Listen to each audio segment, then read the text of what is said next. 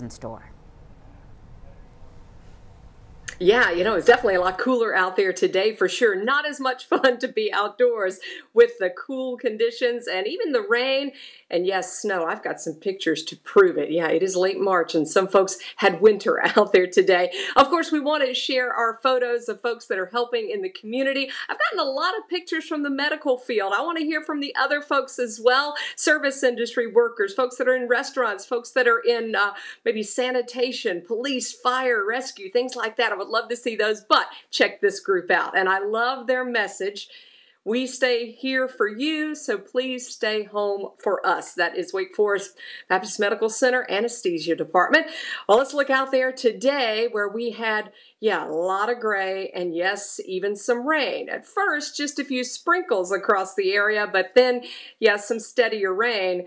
We've got chilly temperatures for sure all across the area. Current temperature in Mount Airy is at 47 degrees right now, and the wind has been brisk. It's been out of the east and out of the northeast, and the wind is going to stay kind of breezy and also out of a cold direction as we head into tomorrow. But I promise you, I do have some warmer air on our seven day forecast. Check out the number in Galax 39 degrees.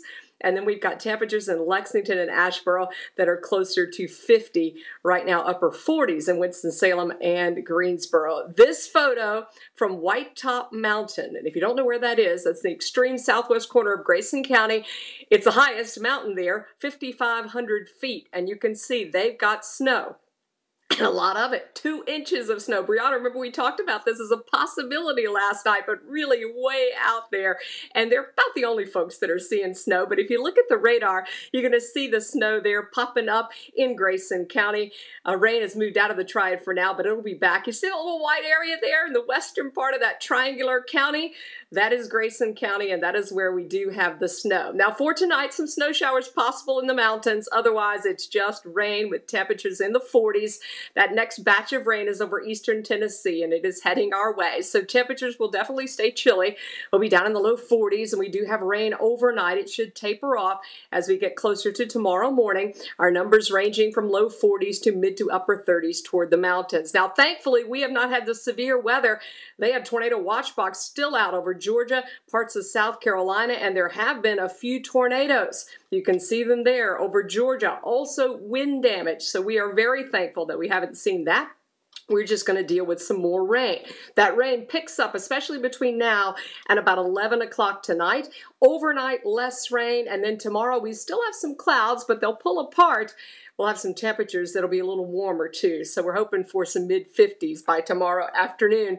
We do expect to see maybe another quarter to a half of an inch of rain. Here's your forecast for tomorrow. Temperature up to 56 degrees in the triad.